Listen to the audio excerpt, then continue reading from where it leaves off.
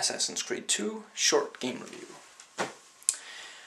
Desmond is back in another Animus, and this time he takes over a different ancestor. One in Italy during the Renaissance, and you get to visit some cool locations around there.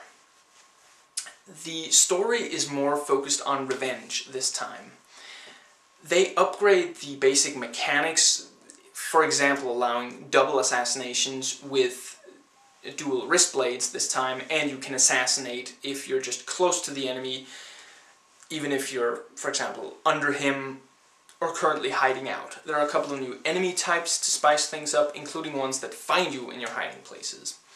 The graphics are upgraded, and it looks quite good. It looks great you again have the Grand Theft Auto style free roam, and there are many minor tasks to carry out, although most of them tend to just yield cash, and cash is not difficult to come by in this.